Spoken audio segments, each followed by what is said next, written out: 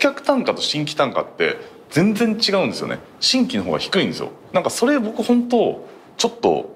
腹立つなとずっと思ってたんですよね。じゃあこここからどうやって新規を新規のお客様を呼び込むことそれはできないですか？うちのシステムの中で新規集客を目的には全くはやってまあせん。してないですか？あ今回のシステムなんですけど他店と比べることもできません、うんうん。全てクローズドサイトでそれはなぜなのかっていうのは今美容業界の問題点としては不正流通っていうのもすごい存在します。やっぱりその横流しを防止したいっていうのが一番なんですね、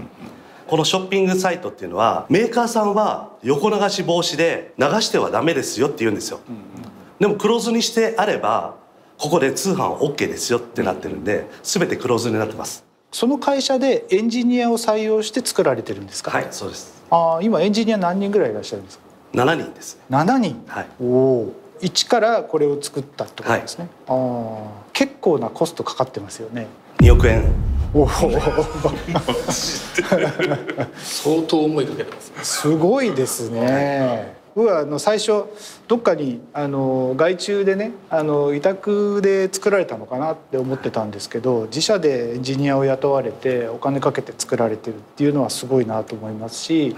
まあ、そういう意味では自社エンジニアなんでちゃんと今後機能追加とかそれからその、まあ、顧客数が増えていった時のサーバーのその負荷とかもそういうのも含めてちゃんとメンテできるっていう体制だということで、サーバーも含めて自分のところで管理させてもらってます。あクラウドじゃないんはい。クラウドじゃないんですか、はい。オンプレ？はい。ええら相当な量です。さらに新規集客っていうのは他の店の失脚なんですよ、うん。そもそも悩みがあるお客さんに対してその価格で向き合うのは美容師さんには負荷があるんですね、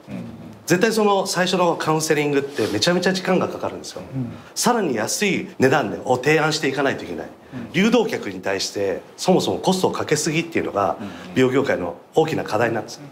そこに対して真剣に美容師さんが向き合うのは顧客をもっと大切にすることによって新規集客しなくてもいいサロン作りを目指さないといけないんですよ、皆さんお疲れ様でした。お疲れ様でした。お疲れ様でした。なんか今回でも普通にバチバチ感はゼロでしたね。ないですね。はい出なかった。ですなんか事業まあもう完成されてますよね。完成されてました突っ込みたくなるようなこうやらしさがなかった、うんうん。そうですね。結構最初北原さんも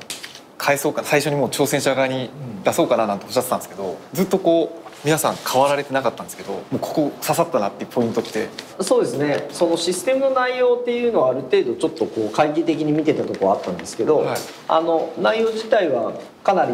精査されて作られてるあの、ハイクオリティのものだなっていうのは分かったんですけど美容師さんからお金を取るということをメインじゃなくてその業界自体を良くしたいという思いの強さっていうところが僕にはすごく刺さったので、